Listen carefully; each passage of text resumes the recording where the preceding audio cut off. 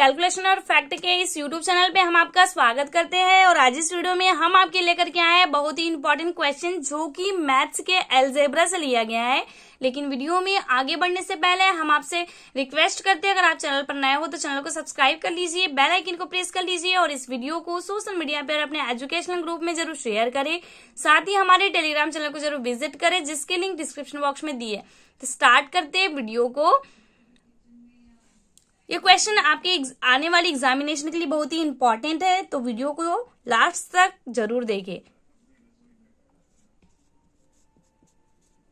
हमारे सामने क्वेश्चन है if X plus Y equal to seven then the value of X cube plus Y cube plus twenty one X Y is हमको क्या करना है?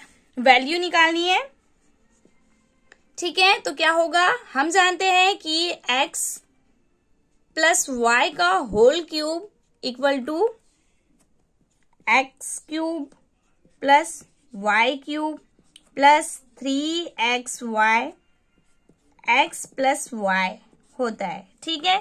तो अब क्या करेंगे हम? x प्लस वाई की वैल्यू क्या रखेंगे? सेवन रखेंगे क्योंकि हमको क्वेश्चन में दिया है। x plus Y equal to seven तो हम रख देते हैं seven cube equal to X cube plus Y cube plus three X Y, X plus Y की वैल्यू हम क्या रख देते हैं? सेवन। ठीक है? Into seven.